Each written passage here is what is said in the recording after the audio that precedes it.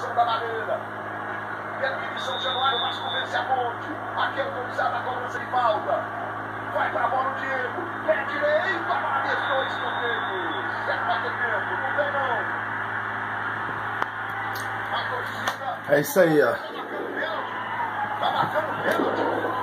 Ele vai marcar pênalti. Cartão amarelo pro William Correia. Vamos ver de novo. Olha aí.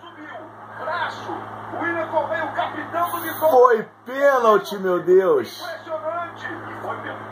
Aos 40 Olha aí. minutos. O que é isso? Vamos ver, vamos ver.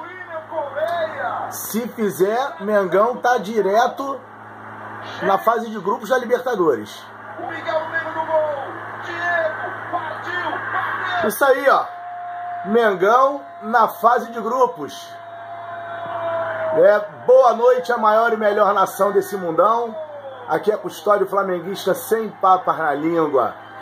Falando dessa virada aí do Flamengo de 2 a 1 mais uma vez no sofrimento, mais uma vez no sufoco. Né? Muitos jogadores não jogaram bem, como Trauco, como Pará, né? mas é isso aí. Estamos na fase de grupos. Estamos na fase de grupos. E é isso aí.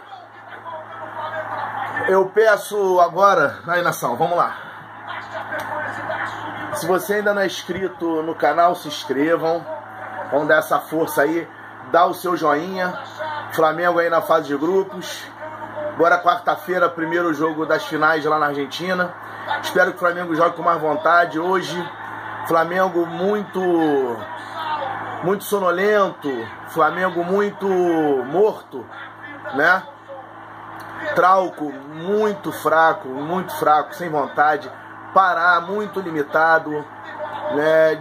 Diego esforçado, mas não vem jogando bem. Everton Ribeiro tentando alguma coisa, mas tá nitidamente que tá fora de forma ainda.